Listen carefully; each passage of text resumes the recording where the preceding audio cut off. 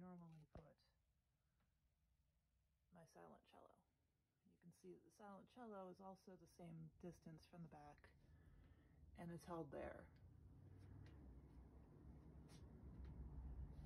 And while it does have a solid body con construction, which the acoustic cello does not, because I live in California, I also opt to have it locked in and the pin out to support it, just in case we have a shaker and the pool noodle is supporting also nice and softly.